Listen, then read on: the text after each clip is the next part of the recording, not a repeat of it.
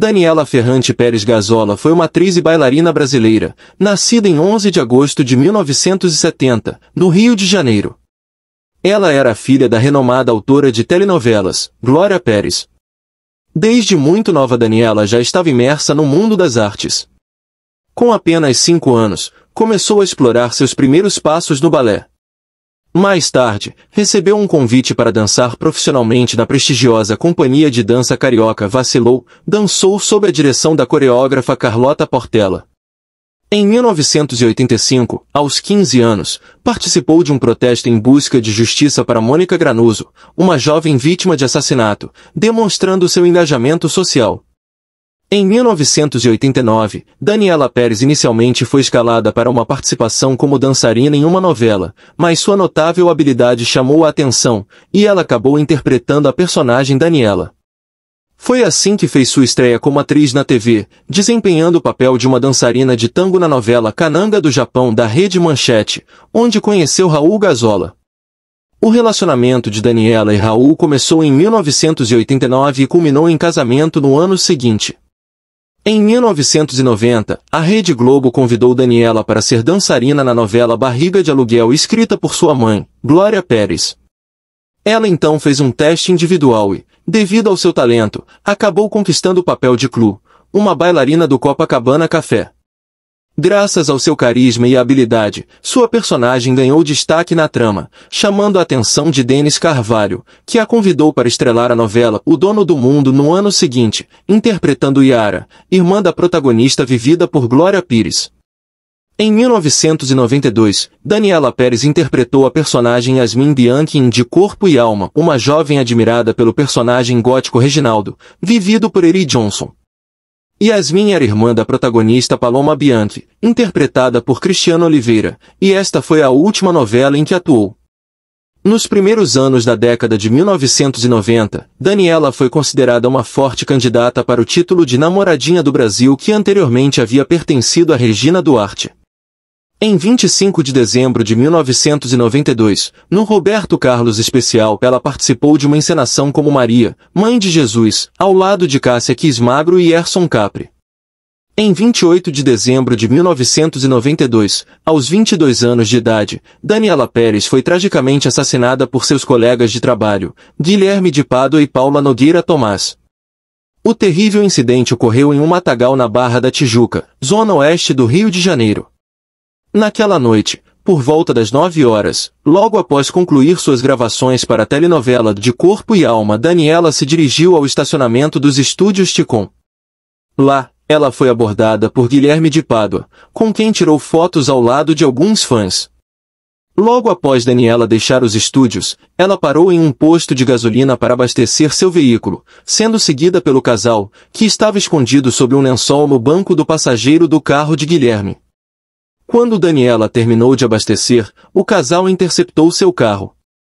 Uma discussão acalorada eclodiu entre Guilherme e Daniela, culminando com um soco desferido por ele no rosto da atriz, fazendo-a desmaiar. Ele então a agarrou pelo pescoço e a forçou a entrar no banco do passageiro de seu carro Santana, enquanto Paulo assumiu a direção. Em seguida, eles entraram no escorte de Daniela, seguindo juntos.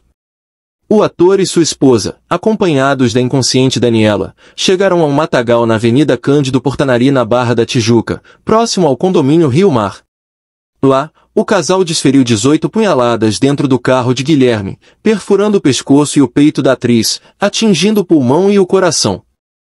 Daniela veio a falecer em cerca de dois minutos devido a um choque hipovolêmico causado pelas punhaladas. Além disso, seu maxilar foi quebrado em decorrência do soco que havia recebido. Em seguida, Pado e Paula arrastaram o corpo da bailarina para dentro do matagal. O motivo por trás desse ato horrendo foi a frustração de Guilherme pelas tentativas infrutíferas de convencer Daniela a interceder junto à sua mãe para aumentar as cenas de seu personagem na novela de corpo e alma, bem como o ciúme doentio de Paula nas cenas de Guilherme e Daniela. Coincidentemente, a participação de seu personagem havia sido reduzida na semana que antecedeu o crime, levando-o a acreditar que sua carreira estava sendo prejudicada por Daniela e Glória. Assim, ele e sua esposa planejaram o assassinato da atriz. Julgados e condenados por homicídio duplamente qualificado, por motivo torpe e impossibilidade de defesa da vítima, o casal cumpriu seis dos 19 anos de pena em regime fechado. Esse trágico episódio provocou uma indignação pública que resultou em alterações na legislação penal brasileira. Isso ocorreu graças aos esforços de Glória Pérez, mãe de Daniela, que liderou uma campanha de recolhimento de assinaturas e conseguiu que a primeira iniciativa popular de projeto de lei se tornasse lei efetiva na história do Brasil. A saída do personagem de Daniela na novela De Corpo e Alma foi explicada como uma viagem de estudos ao exterior, e várias homenagens foram prestadas em memória de Pérez. Em março de 2002, o desembargador Paulo Gustavo Horta determinou que Glória Pérez e Raul Gazola deveriam receber uma multa indenizatória de 500 salários mínimos, o equivalente a 480 mil reais cada, por parte de Guilherme de Pado e Paula Tomás. Isso ocorreu como resultado da condenação de Guilherme e Paula pelo assassinato de Daniela Pérez. A decisão foi proferida em segunda instância pela Sétima Câmara Civil do TJ Rio de Janeiro. A sentença também impôs aos réus a obrigação de cobrir as despesas relacionadas ao sepultamento e funeral de Daniela, estabelecidas em cinco salários mínimos, além das custas processuais e honorários advocatícios de 10% sobre o valor da condenação. No entanto, o processo judicial enfrentou adiamentos ao longo de muitos anos. Posteriormente, Glória e Raul recorreram à justiça novamente para exigir o pagamento da indenização.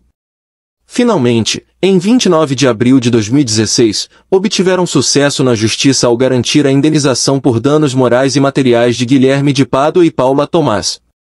Entretanto, o processo legal continuou em andamento e foi arquivado no início de dezembro de 2022. Isso ocorreu após Paula ter sido condenada a pagar uma indenização de 480 mil reais, mas a Procuradoria de Justiça do Rio de Janeiro considerou que a ré não possuía condições financeiras nem bens que pudessem ser penhorados para cumprir a decisão judicial. Em 6 de novembro de 2022, um dos assassinos de Daniela, Guilherme de Pádua, faleceu devido a um infarto em Belo Horizonte.